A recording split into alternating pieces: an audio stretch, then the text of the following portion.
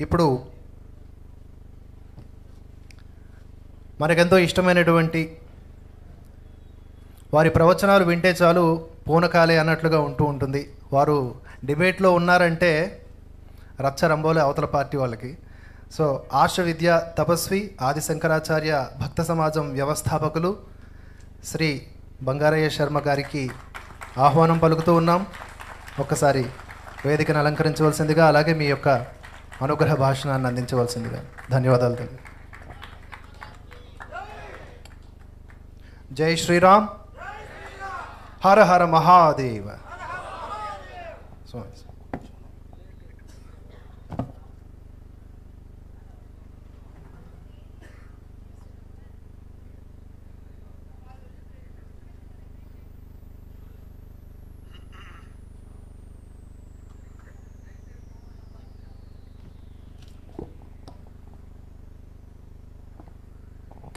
ఒకసారి మీ కరతాళ ధ్వనుల మధ్య.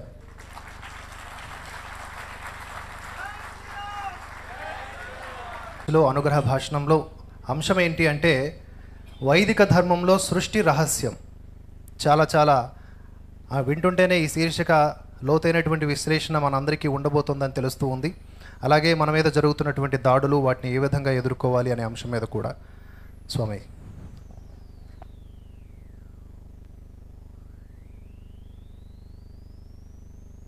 ॐ। श्रुतिस्मृतिपुराणानामालयं करुणालयं नमामि भगवत्पाद शङ्करं लोकशङ्करम् अज्ञानां जाह्नवीतीर्थं विद्यातीर्थं विवेकिनां सर्वेषां सुखदं तीर्थं भारतीतीर्थमाश्रये विद्याविनयसम्पन्नं वीतरागं विवेकिनं वन्दे वेदान्ततत्त्वज्ञं विधुशेखरभारतिम् अम्बोधरश्यामलकुन्तलायै अतिप्रवासाम्रजटाधराय गिरीश्वरायै निखिलेश्वराय नमः शिवायै च नमः शिवाय। सभाकल्पतरुं वन्दे। నేను మొన్నటిదాకా మంథనిలో భాగవత సప్తాహం ఓ యాభై గంటలు వారం రోజుల్లో చెప్పి అది అయిపోగానే విశాఖపట్నము కృష్ణాష్టమి ఉత్సవాలోనే ఆగకుండా నిన్న నిజామాబాద్ వెళ్ళి బాన్స్వాడలో కూడా ఉపన్యాసం చెప్పి రావడం అయింది. కాస్త కంఠావరోధం ఉంది. అయినప్పటికీ కేవలం నాకు శివశక్తి మీద ఉన్నటువంటి ప్రత్యేకమైన అభిమానము. కరుణాకర్ సుగ్గుణ గారు వారి టీం మీద ఉన్నటువంటి అపారమైనటువంటి ఇష్టము. ఏ మార్గాన్ని ఎంచుకొని ధర్మ పరిరక్షణే మా జీవితము అని ఇవాళ ఉపన్యాసానికి వచ్చినటువంటి పెద్దవాళ్ళైనటువంటి చాలా అద్భుతమైనటువంటి కృషితో ఈ ధర్మాన్ని కాపాడుతున్న వాళ్ళ మీద ఉన్నటువంటి విశేషమైనటువంటి భక్తిపూర్వక వాత్సల్యం. మీ అందరినీ కూడా చూడాలి అనే తపన లేకపోతే వాస్తవానికి నా ఉపాధి వాళ్ళు ఇక్కడ రావడానికి సహకరించట్లేదు. అయినా సరే రావాలి అనే ఉద్దేశంతో వచ్చాను. చక్కగా రావడం రావడమే అహోబిళ రామ శ్రీమన్నారాయణ జియర్ స్వామి రామానుజ జియర్ స్వామి వారు అద్భుతంగా నవ్విస్తూ చక్కటి సంభాషణ. కరుణాకర్ సుగ్గుణ అంటే ఏమిటి? అతని పక్కనున్న సైన్యం ఏమిటి? మనం చేయాల్సినటువంటి పని ఏమిటి? ఈ విషయాన్ని చాలా అద్భుతంగా చెప్పారు. చెప్తూ చెప్తూ తొమ్మిదో సంఖ్య అవికారి అని చెప్పారు. ఈ అవికారిగా ఈ సంస్థ కోట్ల సంవత్సరాలు ఉండాలి అన్నారు. అవికారి అనేటటువంటి సంఖ్య ఒక్క దగ్గర వికారం పొందుతుంది. తొమ్మిదిని దేంతోటి గుణించినా తొమ్మిదే వస్తుంది. కానీ తొమ్మిదిని ఏదైనా ఒక వస్తువుతో మనం కూడినప్పుడు ఆ అంకె పక్కకు వస్తుంది బాగుంది. కానీ వికారం ఒక్క దగ్గర ఉంటుంది ఆ తొమ్మిదికి? అది ఎక్కడ? అంటే తొమ్మిది ఇంటూ సున్నా అని పెట్టారనుకోండి అది సున్నానే అవుతుంది కానీ తొమ్మిది అయ్యే అవకాశం లేదు. అంటే ఈ తొమ్మిది ఎవరు సగుణ సాకారంగా వచ్చినటువంటి కృష్ణ పరమాత్మ. ఆయన నిజతత్వం ఏమిటి? అంటే పూర్ణము. సున్నా అంటే శూన్యం కాదు. వైదిక భాషలో సున్నా అంటే పూర్ణము. ఈ నిర్గుణ నిరాకారమై సర్వవ్యాపకమైనటువంటి బ్రహ్మముతో రమించినప్పుడు తొమ్మిది కూడా బ్రహ్మమే అయిపోతుంది. ఆ సగుణ సాకారం కూడా ఆత్మస్వరూపం అవుతుంది దీనినే సృష్టి రహస్యంలో ఒక్కసారి చెప్పుకుందాము అనే ఉద్దేశ్యంతో ప్రధానంగా నన్ను ఒకసారి కరుణాకర్ సుక్కుణ గారు అడుగుతూ అడుగుతూ ఏమండి సృష్టి గురించి మన పురాణాల్లో మనకు సంబంధించినటువంటి ధర్మాల్లో చాలా అనుమానాలు ఉన్నాయి అని ఎప్పుడో వ్యక్తం చేయడం అసలు అనేక పురాణాల్లో రకరకాల సృష్టులు మనకు కనిపిస్తున్నాయి. దీని మీద మీ అభిప్రాయం ఏమిటి అని అడిగారు. ఆయన మీరేం మాట్లాడతారు అన్నప్పుడు ఆ ప్రశ్న నాకు గుర్తొచ్చింది. మీరు ఏ ప్రశ్న అయితే వేశారో ఆ ప్రశ్నకే నేను సమాధానం చెప్తాను అని చెప్పాను. అంతకంటే ముందు ఒక్కసారి కరుణాకర్చగుణ గారు ఒక్కవైపు అటు తిరిగితే గట్టిగా మీ అందరి కరతాళ ధ్వనులతో చాలా గట్టిగా ఒక్క నిమిషం గట్టిగా.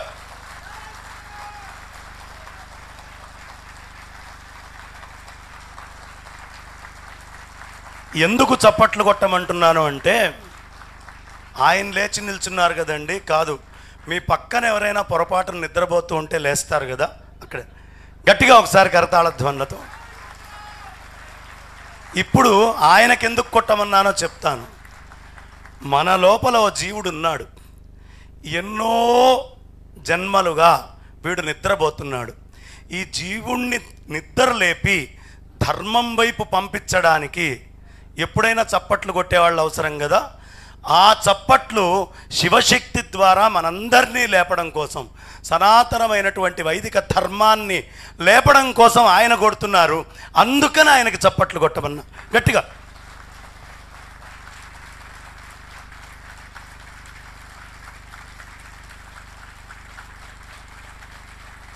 మరి ఈ అంశాన్ని మీరు ఎందుకండి ఎంచుకున్నారు అని మీరు అడగచ్చు. ఈ అంశాన్ని నేను ఎందుకు ఎంచుకున్నాను అంటే శివశక్తి ఛానల్ని హిందువులు ఎంత పాళ్ళల్లో చూస్తారో ఇతరమైనటువంటి వాళ్ళు అంతకంటే ఓ పాలు ఎక్కువే చూస్తారు. ఎందుకంటే మన పాలు వేరు వాళ్ళ పాలు వేరు. వాళ్ళ పాలు వదిలి పాలను చూస్తారు అనుమానం లేదు. కాబట్టి ఈ పాలు వాళ్ళకు కూడా అందాలి అనే ఉద్దేశ్యంతో సృష్టి రహస్యం అనే విషయాన్ని తీసుకున్నా. నాకు ఇచ్చింది అరగంట సమయం. అరగంటలో సాధ్యమైనంత న్యాయం చేసేటటువంటి ప్రయత్నం చేస్తాను.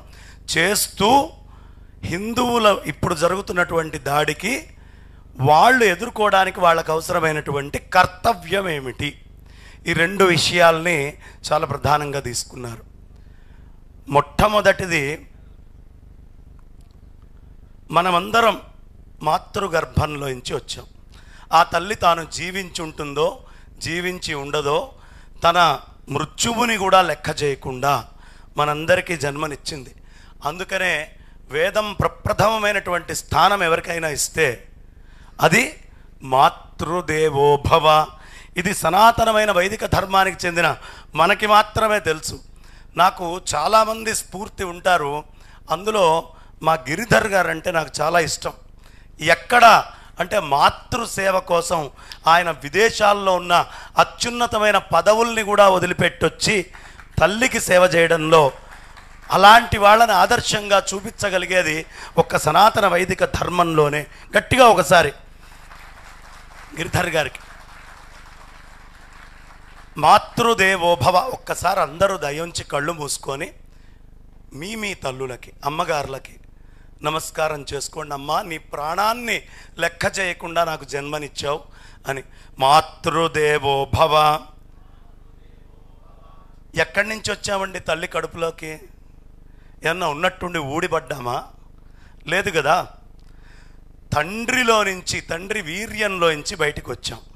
అంటే తల్లి ఎలా కడుపులో పెట్టుకొని చూసుకొని పిల్లవాడిని కన్నదో తల్లి కంటే ముందు కడుపులో పెట్టుకున్నది ఎవరు? తండ్రి తండ్రి కడుపులోను ఉన్న తర్వాతే మాతృగర్భంలోకి ప్రవేశించావు. కాబట్టి మొదటి స్థానం తల్లికే. ఎందుకు? అక్కడ నిర్గుణ నిరాకారమైన యథాతథమైన జీవలక్షణంతో ఉన్నాను నీకు ఉపాధి అనేటటువంటిది ఇచ్చినటువంటిది మాతృగర్భం. కాబట్టి నువ్వున్నావు పితృగర్భంలో.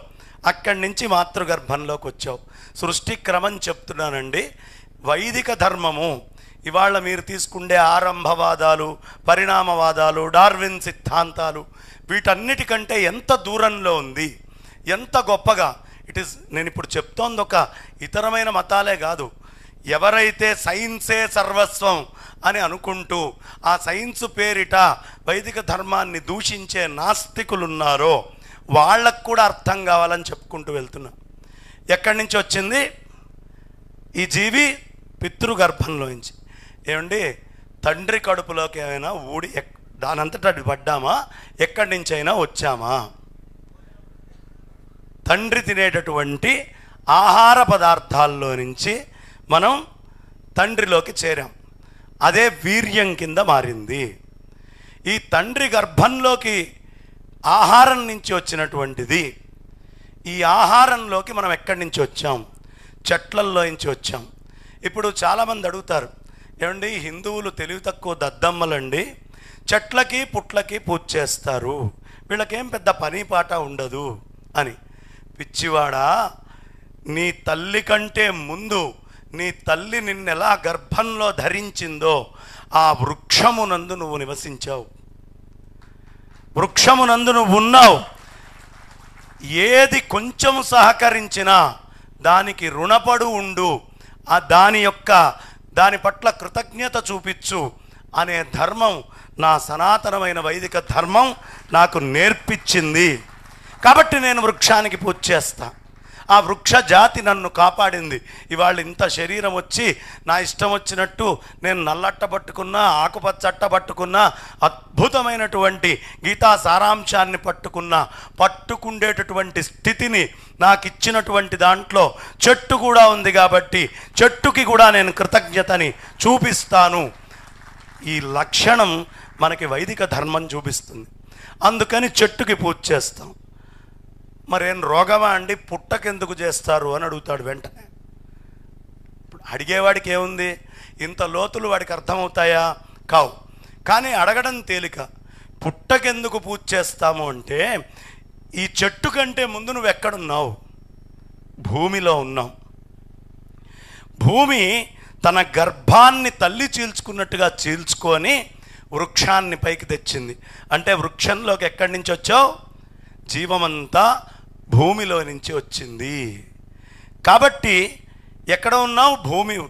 ఈ భూమిలో అత్యంత సారభూతమై పవిత్రంగా మొత్తం భూమినంతా పవిత్రంగా భావిస్తాం. సూర్యకిరణాలు అంతటా ఉన్నప్పటికీ అంతటా ఉన్నప్పటికీ భూతద్దం పెడితే ఏమవుతుందండి? దహించే కిరణాలు వస్తాయి. అలా భూతత్వానికి మొత్తానికి సంకేతంగా ఆ ఫైన్గా కర్మతోటి తీసి చీమలు పెట్టేటటువంటి పుట్ట మట్టి ఉంటుంది చూడండి. అది మోస్ట్ సాఫ్టెస్ట్. ఆ అమ్మని దర్శించడానికి. కాబట్టి మేము భూమి యొక్క రుణానికి గుర్తుగా ఆ పుట్టని మేము నిత్య నిరంతరం పూజ చేస్తూ ఉంటామయ్యా. శ్రావణ మాసం మొన్ననే పంచమికి మా వాళ్ళందరూ క్షీరం పోశారు. ఓషధులన్నీ కూడా. ఎందుకు పోశారు? కారణం ఇది. భూమికి కూడా రుణపడి ఉంటాం. అందుకనే నిద్ర లేవంగానే ముందు భూ మాత అని ఆ తల్లికి నమస్కారం చేసుకుంటాం. అక్కడ తోట అయిపోయిందా? ఈ భూమిలోకి ఎక్కడి నుంచి వచ్చాం? భూమిలోకి కూడా ఎక్కడి నుంచి రావాలి కదా? జలములో నుంచి వచ్చాం. భూమిలోకి భూమికి ఎక్కడి నుంచి వచ్చామండి? జలములో నుంచి వచ్చాం. జలం లేకపోతే జీవనం లేదు. జలములో నుంచి వచ్చాం. కాబట్టి భూమి కంటే ముందు జలము ఉంది. ఈ జలంలోకి ఎక్కడి నుంచి వచ్చాం? జలంలోకి అగ్ని నుంచి వచ్చాం. అగ్ని లేకపోతే జలం లేదు. అగ్ని ఫార్ములా ఏమిటి? హెచ్ టూ ఓ రెండు హైడ్రోజన్ మాలిక్యూల్స్. ఏముంటుంది సూర్యనారాయణమూర్తి దగ్గర? వాటర్. వాటర్కి ఏంటి? H two O. కాబట్టి రెండు హైడ్రోజన్ మాలిక్యూల్స్ ఎక్కడ ఉంటాయి? నీళ్ళల్లో. హెచ్ టూ ఈ అగ్నితత్వం ఆ నీళ్ళల్లో ఉంది కాబట్టే బడబాగ్నిగా సముద్రం లోపల కూడా నిక్షిప్తమై ఉంటుంది. అగ్ని నుంచి వచ్చాం. ఈ అగ్నితత్వం ఇప్పుడు జలంలో ఉందా లేదా? కాబట్టి ఈ హైడ్రోజన్ మాలిక్యూల్స్ అనేటటువంటివి అగ్ని అది లేకపోతే జలం లేదు. మరి ఈ జలంలోకి అగ్నిలోంచి వచ్చాం. అందుకనే హెచ్ టూ అనే పదం అక్కడ ఉంది. ఈ అగ్నిలోకి ఎక్కడి నుంచి వచ్చాం? వాయువులోంచి వచ్చాం. వాయువు లేకపోతే దీపం పెట్టండి. వెలిగిచ్చి దాని మీద గాలి ఆడకుండా మూత పెట్టేయండి. మన ముక్కులోకి ఊపిరి ఆడకపోతే ఏ పరిస్థితో? దీపము యొక్క పరిస్థితి కూడా అదే.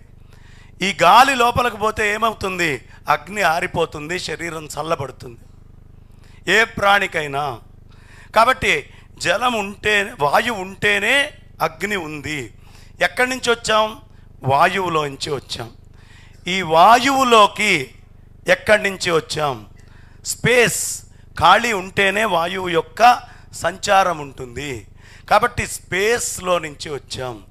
ఈ స్పేస్లో నుంచి వచ్చినటువంటి మనము ఇప్పటికీ చాలామంది నాస్తికులు అంటారు అన్నీ కనుక్కున్న తర్వాత మీరు చెప్తుంటారండి.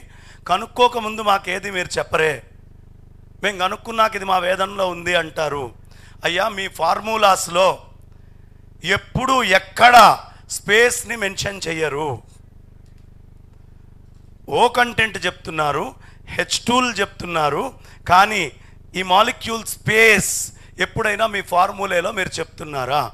అది కూడా చాలా ప్రధానము అని వేదం మనకి చాలా ప్రత్యేకంగా ఫార్ములాని కూడా చెప్తోంది. అది ఏమిటి స్పేస్ అంటే పంచదార వేశాను నీళ్ళల్లో. కాసేపు అయిన తర్వాత ఆ పంచదార కరగడం ఆగిపోయింది.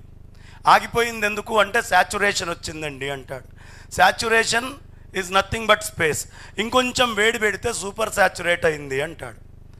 అంటే ఈ స్పేస్ ఏమిటి ఎంత అనేది ఎక్కడ ఫార్ములేలో మనం చూపించట్లేదు. కానీ అది కూడా చూపించాలి. అది ఈ సృష్టి క్రమంలో స్పేస్ యొక్క ప్రాధాన్యత చాలా ఉంది అని ఈ ఫార్ములాలో ఇప్పుడు వేద మంత్రం చెప్తాను నేను. ఇది ఎక్కడి నుంచి వచ్చింది అనేది. దీంట్లో స్పేస్ యొక్క ప్రాధాన్యత చెప్పుకొస్తారు. అక్కడ ఈ స్పేస్ ఎక్కడి నుంచి వచ్చింది? అంటే పరమాత్మ నుంచి వచ్చిందండి. అది నిర్గుణ నిరాకారమైంది. తస్మాద్వా ఏతస్మాద్ ఆత్మన ఆకాశ సంభూత ఆకాశాద్వాయు వాయోరగ్ని అగ్నేరాప అద్భ్య పృథివీ పృథివ్యా ఓషధయ ఓషధీభ్యోన్నం అన్నాత్ పురుష ఇది మొత్తము సృష్టిక్రమము. ఈ సృష్టిలో మొట్టమొదట వచ్చింది వేదం. బ్రహ్మదేవుణ్ణి సృష్టించిన తర్వాత ఆకాశము శబ్దానికి గుర్తండి. వాయువులో రెండు లక్షణాలు ఉంటాయి ఏమిటది? శబ్దంతో పాటు స్పర్శ. అనే గుణం రెండు వచ్చినాయి అదే మీరు అగ్ని దగ్గరకు వచ్చేటప్పటికీ ఆ అగ్ని దగ్గర మనకి శబ్దములో అంటే ఆకాశములో వాయువులో లేని కొత్త లక్షణం వస్తుంది. రూపం. అంతకుముందు ఆకాశాన్ని చూసిన వాడెవడు లేడు. వాయువుని చూసిన వాడెవడు లేడు. కానీ ఈ రెండిటి యొక్క సమ్మిళనమైనటువంటి రూపాన్ని అగ్నిలో చూస్తున్నాం శబ్ద స్పర్శ రూపాలు. ఇవి మూడు. ఇక నాలుగోదైన జలం. జలంలోకి వచ్చేటప్పటికి పైన ఉన్న మూడిట్లో లేనిది కొత్తది ఒకటి వస్తోంది. అదేమిటి? శబ్ద స్పర్శ రూప. ఏమండి ఈ మంట చాలా రుచిగా ఉందండి. యాన్ నాకి నేను తిన్నాను అని ఎవడు అనడు. ఎందుకంటే దాంట్లో రసము లేదు. రసం ఎక్కడ వచ్చింది రుచి?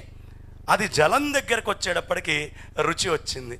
ఈ జలము నుంచి భూమి. భూమికి వచ్చేటప్పటికి ఐదు తత్వాలు కనిపించినాయి. ఇది మొత్తం స్పష్టంగా మనకు ఉపనిషత్తుల్లో చాలా విశేషంగా చెప్పబడ్డది. ఇప్పుడు నేను చెప్తోంది ఉపనిషత్ బాహ్యమైనటువంటి విషయం ఏదీ చెప్పట్లేదు. కాబట్టి ఈ ఉపనిషత్తుల్లో ఎక్కడి నుంచి వచ్చింది? మరి భూమికి ఉన్న ఐదు తత్వాలు ఏమిటి? అంటే భూమిలో శబ్దం ఉందండి భూమి లోపల స్పర్శ ఉంది భూమి లోపల రూ భూమికి రూపము ఉందండి భూమికి రుచి కూడా ఉంది అదేవిధంగా నీళ్ళకి లేనిది ఏమిటి వాటర్ హ్యాస్ నో ఆర్డర్ వాసన లేదు. ఆ గంధం ఎక్కడి నుంచి మొదలైంది? అంటే భూతత్వము నుంచి. గంధము అనేటటువంటిది వచ్చిందండి. ఈ ఐదు కలిసి ఒక జీవస్వరూపంగా మారి. ఈ ఐదిట్లోకి జీవం ఎక్కడి నుంచి వస్తోంది? అంటే ఎంత అద్భుతంగా చెప్తారు అంటే సూర్యనారాయణ మూర్తిని మీరు విష్ణుమూర్తిగానో పరమేశ్వరుడిగానో తీసుకోండి. అమ్మవారి విద్యను ఏమంటారండి? నవరాత్రులు వస్తున్నాయి రేపు మనకి భాద్రపదం కాగానే. అమ్మవారి విద్యని చంద్ర విద్య అని పిలుస్తాం. అమ్మవారి విద్య ఏమిటి? చంద్ర విద్య. సూర్యనారాయణమూర్తి నుంచి వెయ్యి కిరణాలు భూమి మీదకి వస్తున్నాయి ఈ వెయ్యి కిరణాల్లో మెయిన్ మూడు వందల ముప్పై మూడే మూడు రకాలైనటువంటి శక్తులుగా సత్వ రజస్ తమో గుణాలుగా ఇది మారుతోంది. తమో గుణము ఆయనలోంచి వచ్చే తీక్షణమైనటువంటి కిరణాలు ఉష్ణమైనటువంటి కిరణాలని ముప్పై మూడు కోట్ల సమూహాలు దేవతలు అని చెప్తారే ఈ మూడు వందల ముప్పై మూడు ఏదైతే ఉందో ఆ తత్వం ఏదైతే ఉందో ఈ మూడు వందల ముప్పై మూడు ఉష్ణ కిరణాలు సూర్యుడి నుంచి భూమి మీదకి వస్తున్నాయి. ఇంకో ఆ మూడు వందల ముప్పై మూడే రూపాంకురం చెంది వాటిని వాటిని వర్షకారక కిరణాలుగా మార్చుకుంటాయి ఇది అన్ని సందర్భాల్లో రావు బాగా వర్షం వచ్చే ముందు ఉక్కపూత వస్తుంది ముందు. బాగా విపరీతంగా. ఆ కిరణమే వేరు చాలా ప్రత్యేకమైన కిరణం. సూర్యుడు కనిపించకపోయినా ఉక్కపోత విశేషంగా వస్తుంది. ఈ మూడు వందల ముప్పై మూడే అక్కడ ఉష్ణకారక కిరణాల నుంచి వర్షకారక కిరణాలుగా మారినాయి. ఇంకో మూడు వందల ముప్పై మూడు ఇప్పుడు నేను చెప్తోంది భవిష్య పురాణం అంటే. అందులో స్పష్టంగా సూర్యనారాయణమూర్తి గురించి చెప్పేటప్పుడు ఉంటుంది. ఈ మిగతా మూడో రకమైనటువంటి కిరణం ఈ వర్షకారకం అంతా రజోగుణం జీవాన్ని సృష్టి చేయడానికి వస్తుంది. మరి మూడోదైనటువంటిది ఆయన ఆయన విభజించుకున్నది సత్వగుణమైనటువంటి కిరణం. చల్లటి కిరణాలు వస్తాయి సూర్యుడి నుంచి. మీలో ఎవరైనా సూర్యుడిలో చల్లటి కిరణాలు ఉన్నాయని మీ టెక్స్ట్ బుక్కుల్లో చదువుకున్నారా? సూర్యుడిలో నుంచి చల్లటి కిరణాలు వస్తాయి అని టెక్స్ట్ బుక్కుల్లో ఎక్కడైనా?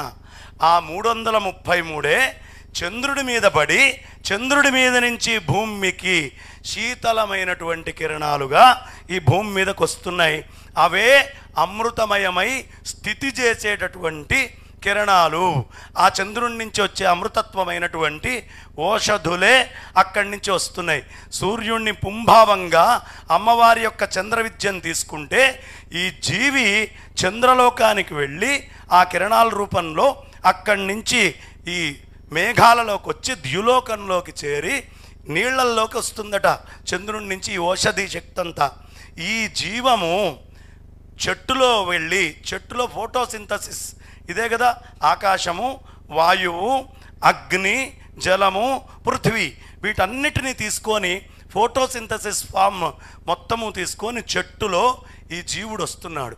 ఇక్కడ వాడికి ఒక్కొక్క గుణము కూడా ఆపాదించబడుతున్నాయి. మనం వినగలుగుతున్నాం ఈ జీవులమందరం. కాబట్టి వాళ్ళలాగా జీవికి ఆత్మ ఉండదు వేరే పశువులకి ఆత్మ ఉండదు అనేది అజ్ఞానం. జీవి ఏదైనా చెట్టు దగ్గరే మార్చబడుతుంది. ఆ చెట్టు మీద ఉన్నటువంటి ఆహారాన్ని మన తండ్రి తిన్నాడు కాబట్టి మానవ రూపం వచ్చింది. అదే చెట్టు మీద మనం ఉన్నప్పుడు ఏ ఎలకో పందికొక్కో పందో ఏనుగో కుక్కో తింటే ఆ రూపం మనకు వచ్చేది మన జన్మాంతర కర్మలో ఇక్కడ రాసిపెట్టి ఉంది కాబట్టి ఇక్కడ తినబడ్డది. ఈ పురుషుడు చే తినబడి ఆ గర్భంలోకి వెళ్ళి అక్కడి నుంచి మాతృగర్భం. శివశక్తిలో మొహమాటస్తులు బాగానే ఉన్నారు. గట్టిగా.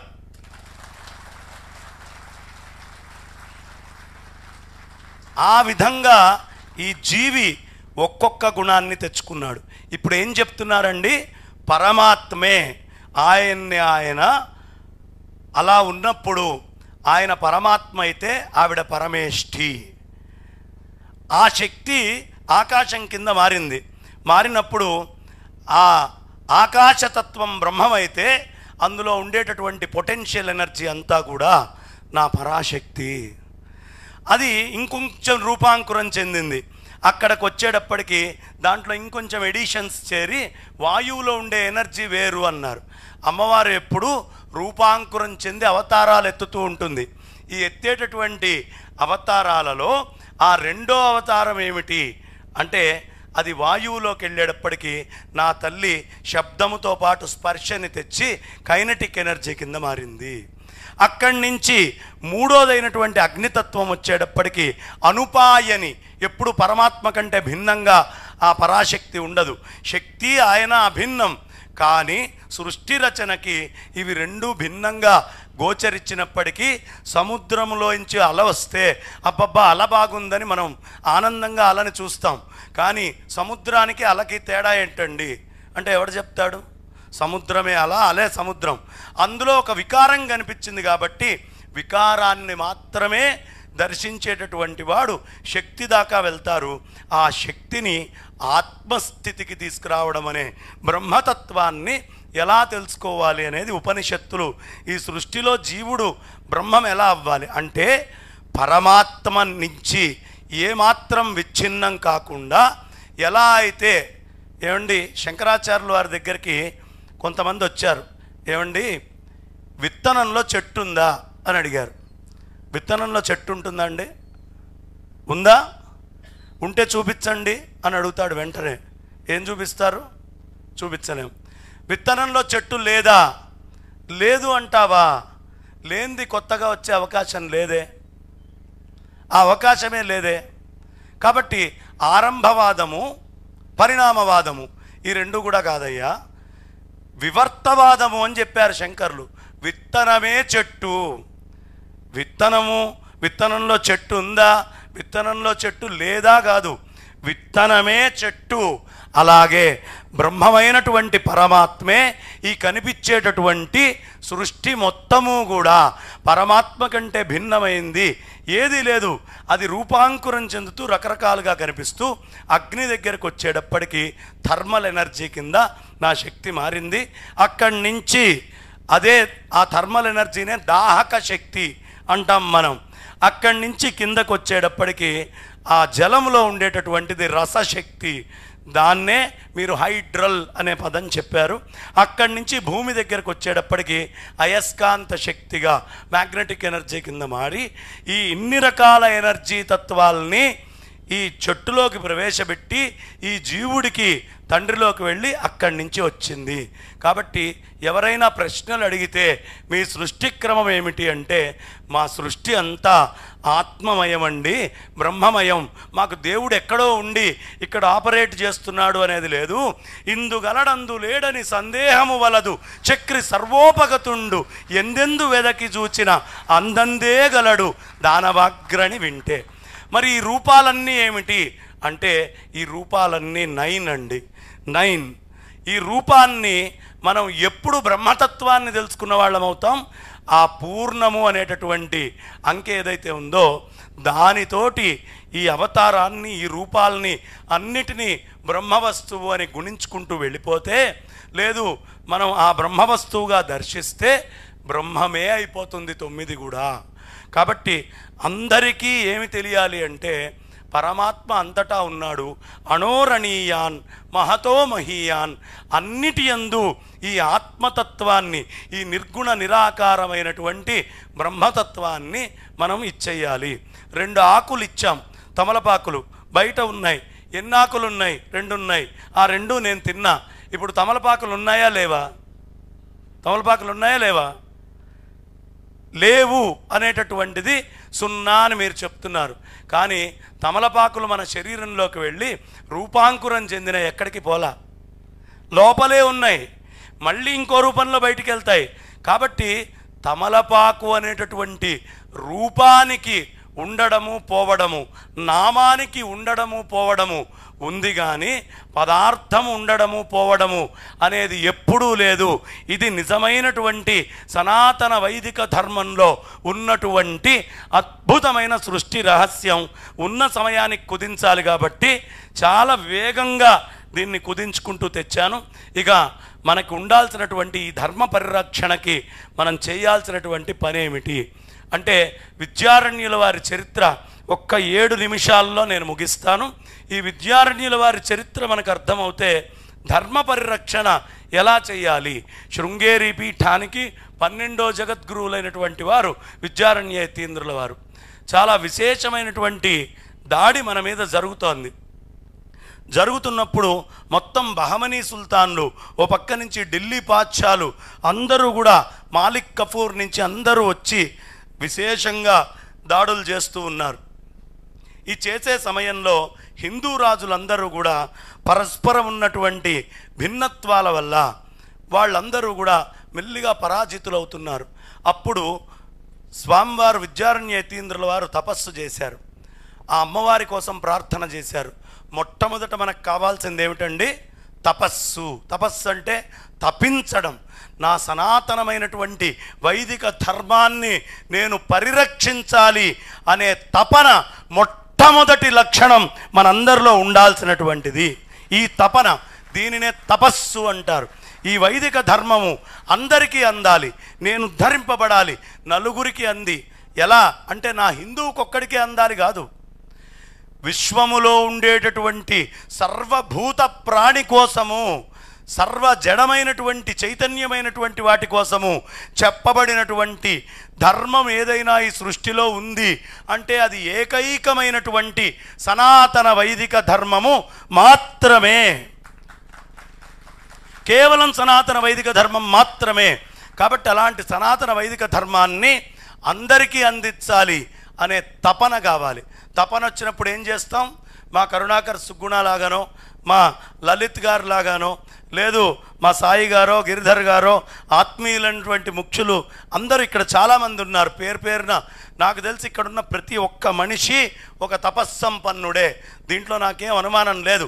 ఈ ధర్మ పరిరక్షణ కోసం ఇంత వర్షంలో ఏం పట్టించుకోకుండా ఇక్కడ కూర్చున్నటువంటి మీరందరూ ఆనాడు విద్యారణ్యుల వారి హృదయం ఏదో ఆ హృదయాన్ని ఆవిష్కరించేటువంటి సభగా చెప్తూ ఇక విద్యారణ్యుల వారు విజయనగర సామ్రాజ్యాన్ని స్థాపిస్తూ మొట్టమొదట ఏం చేశారండి? యుద్ధం చేస్తోంది తురుష్కుల మీద కదా. వాళ్ళు దేన్ని ద్వేషిస్తారు? పందిని. కాబట్టి నా గుర్తు పంది అన్నాడు. వెంటనే ఢిల్లీ పాఠశాల దగ్గరికి వెళ్ళండి అయ్యా. ఈ పందిని మే మా డబ్బులు కూడా వరాహాలే. మీకు ఎన్ని వరాహాలు కావాలో చెప్పండి అన్నాడు. చీ మీ పంది మాకు అక్కర్లేదు అన్నాడు పాచ్చ మొట్టమొదటి తెలివితేటలు strategy. Strategy is very important. ఏం చేశాడు? వరాహము. అనేటటువంటిది తీసుకొచ్చాడు. ఆ డబ్బులు మాకు వద్దన్నారు అప్పుడు ఆనెగొందిలో చిన్నగా ఉంది రాజ్యం. ఎప్పుడైతే డబ్బులు వద్దన్నారో అప్పుడు ఇండిపెండెన్సీగా మెల్లిగా హిందూ శక్తులన్నింటినీ ఓ దగ్గరికి తీసుకురావడం లైక్ మైండెడ్ పీపుల్ అందరినీ ఆర్గనైజేషన్లోకి తీసుకురావడం రాజ్యంలోకి ఎవడైనా రావాలి అంటే పందులకి ముద్దు పెట్టి ఎలా రావాలి అనే విషయాన్ని తెలియపరచడం దాన్ని గూఢచర్యంగా జాగ్రత్తగా చూడటం ఇలా అనేకమైనటువంటి కృత్యాలు. అంటే ఎదుటివాడు మన మీద ఏ దాడి చేస్తున్నాడు అనేది నిశితంగా గమనించాలి. వాడి వీక్నెస్ ఏంటి? మనకున్న స్ట్రెంగ్త్ ఏంటి? వాడి వీక్నెస్లు చాలా ఉంటాయి. ఐదు వేల సంవత్సరాల వెనక్కి వెళ్తే వాడేంటో వాడు చెప్పలేడు. కానీ లక్షల సంవత్సరాల సృష్టిని చెప్పగలిగేటువంటి సైంటిఫిక్ టెక్నాలజీ మన దగ్గర ఉంది. కాబట్టి మిత్కి సత్యానికి అమ్మే మార్కెటింగ్ చేసేవాడు అబద్ధాన్ని చాలా వేగంగా తీసుకెళ్ళిపోతాడు వాడి వ్యాపారం కోసం. కానీ సత్యం అర్థం చేసుకోవడానికి వాడి ఇంటికి వచ్చి గూగుల్లో చాలా రీసెర్చ్ చేస్తే తప్ప దొరకదు. కాబట్టి మోసపోవడం అనే లక్షణం మనలో ఉంది. ఎలా మోసపోతున్నారు అనే వాటన్నిటినీ గుర్తించుకొని ఇంకో వేదికలో ఎప్పుడైనా ఎందుకంటే ఇచ్చిన అరగంట సమయము చాలా విలువైంది. నా తర్వాత మాట్లాడాల్సినటువంటి హేమా హేమీలు ఉన్నారు. సముద్రం లోపలికి తీసుకెళ్ళే తరంగాలు బయటికి నెట్టే తరంగాలు అని ఉంటాయి. మీ అందరినీ లోపలికి తీసుకెళ్ళి అనేకమైన విశేషాలు చెప్పడానికి తరంగాలుగా ఇక్కడ ఇంతమంది ఉంటే నేను ఒక్కడిని ఏదో బయటికి నెట్టే అలలాగా చెప్తూ వెళ్తే బాగుండదు కాబట్టి మీరు తర్వాత ఎవరెవరి కోసం ఎదురు చూస్తున్నారో వాళ్ళందరూ మాట్లాడాలి కాబట్టి ఈ ధర్మాన్ని రక్షించడానికి తపస్సు ఎదుటివాడి కుట్ర మీ తపస్సుని సక్రమంగా ఎదుటివాడిలో ఎలా ప్రవేశపెట్టాలి అనే విషయాలు ఉండాలి అని కోరుకుంటూ మా కరుణాకర్ సుగ్గుణ గారు ఈ సంస్థని ఈ ఉపాధి ఎంతకాలం ఉందో తుది శ్వాస దాకా కూడా ఈ సంస్థని ఎంత పటిష్టం బలోపతం పేతం చేయాలి ఆయన మిత్రులతో కలిసి అని కోరుకుంటున్నాను అంటే ఈ శూన్యము అనేది పూర్ణమవుతుంది చూడండి. అలా ఆయన సంకల్పము శూన్యంలోంచి ఒక అడుగు పెట్టి పూర్ణమై ఎంతకాలము సనాతనమైనటువంటి వేద ధర్మం ఉంటుందో అంత దాకా ఈ తపస్సు ఉండాలి అంటే అజరామరమై అలా ఎప్పటికీ ఉండిపోవాలి అని మనస్ఫూర్తిగా కోరుకుంటూ నా వాణికి విరామాన్ని ఇస్తున్నాను.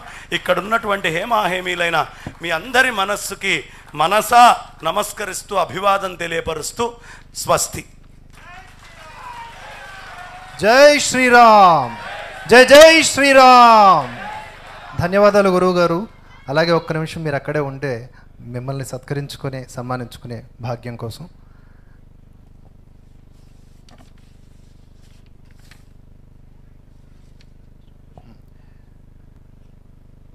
మన ఇప్పటిదాకా అద్భుతమైనటువంటి తన యొక్క పలుకులతో మాటలతో మనల్ందరినీ కూడా ఎంతో అంటే ఒక నిస్తేజం అనేది లేకుండా చేసినటువంటి గురుదేవుల వారికి ఆశ్రవిద్య తపస్సులు శ్రీ మ- శ్రీ బంగారే శర్మ గారికి ఇప్పుడు సన్మానం సన్మానం చేయవలసిందిగా శ్రీ మావుడూరు సూర్యనారాయణ మూర్తి గారు అలాగే శ్రీ చర్చి రామకృష్ణ గారు వేదికపైకి రావాల్సిందిగా కోరుకుంటూ ఉన్నాం.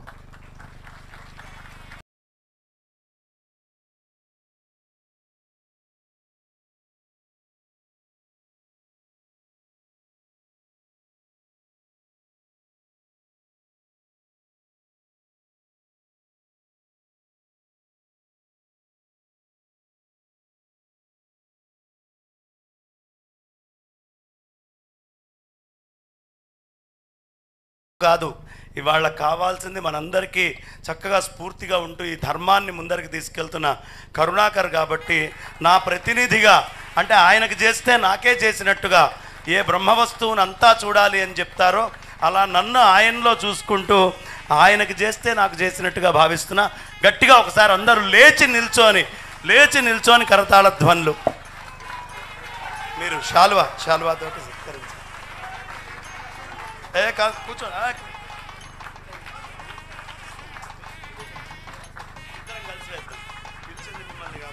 వచ్చింది. గట్టిగా అమ్మా అయ్యో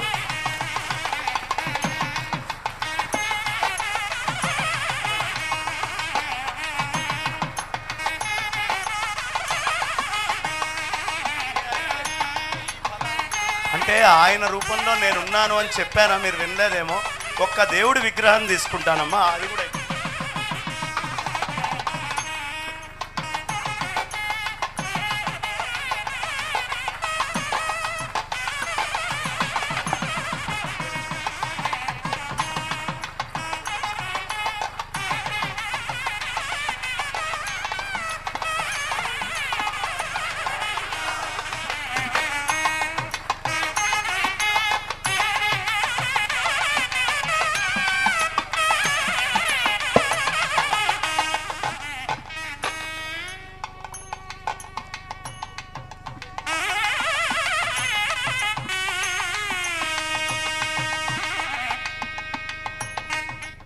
అందరికీ నమస్కారం. శ్రీ బంగారయ్య శర్మ గారు నేను కలిసి ఒక చారిత్రాత్మకమైనటువంటి ఒక వేదికలో భాగస్వామ్యం అవడం జరిగింది. క్రైస్తవ మత ప్రచారకులు వేదాల్లో కూడా మా దేవుడే ఉన్నాడు అని చెప్పి ఒక దుర్మార్గ ప్రచారాలు ఏవైతే చేస్తున్నారో వాటికి అడ్డుకట్ట వేయడానికి శ్రీ చిన్నజీయర్ స్వామి వారి ఆధ్వర్యంలో ఒక మంచి వేదికను ఏర్పాటు చేశారు. అందులో వారికి సహాయకులుగా హిందూ ధర్మాచార ప్రతిష్టాన్ వేదిక ఆధ్వర్యంలో ఆ చర్చను ఏర్పాటు చేయడం జరిగింది. అందులో వారికి సహాయకులుగా నేను కూడా ఉన్నాను. అప్పటి నుంచి అంతకుముందు కూడా అరాకొరాగా పరిచయం ఉంది. కానీ ఆ చర్చ కోసం మేము చాలాసార్లు కలవటం చర్చించుకోవడం వీటి మీద క్రమంగా మేము మాట్లాడుకుంటూ అనేక సార్లు వారి దగ్గర నుంచి నేను చాలా విషయాలు నేర్చుకోవడం జరిగింది. అయితే ఓ సందర్భంలో శృంగేరి వెళ్ళినప్పుడు శృంగేరి జగద్గురువులు వారు ప్రత్యేకంగా నా పేరు ప్రస్తావించి సాక్షాత్తుగా జగద్గురువులు నోటి నుండి వారు నా పేరు పలకటం ఒక అనిర్వచనీయమైనటువంటి అనుభూతి. అలాంటి మహద్భాగ్యానికి నేను నాకు ఆ భాగ్యాన్ని కలిగించినటువంటి బంగారాయ శర్మ గారు ఇలాంటి సంఘటనలు చాలా ఉన్నాయి. ఎప్పుడు కూడా శృంగేరి జగద్గురువుల వారి యొక్క ఆశీస్సులు మాకు అందజేయడంలో ఆయన వారధిగా ఉంటూ ఉంటారు. ఇక్కడ జరిగేటటువంటి కార్యక్రమాలు కానీ శివశక్తి చేస్తున్నటువంటి కార్యక్రమాలు కానీ ఎప్పటికప్పుడు శృంగేరి పీఠానికి నివేదిస్తూ ఉంటారు. ఆ విధంగా గురువుల యొక్క ఆశీస్సులు మాకు అందజేయడంలో వారు చాలా కీలక పాత్ర పోషిస్తూ ఉన్నారు. అలాగే ఈరోజు ఇక్కడికి విచ్చేసి ఈ కార్యక్రమాన్ని జయప్రదం చేయడంలో వారి యొక్క భాగస్వామ్యాన్ని తీసుకున్నందుకు వారికి హృదయపూర్వకంగా ధన్యవాదాలు తెలియజేస్తూ జై శ్రీరామ్.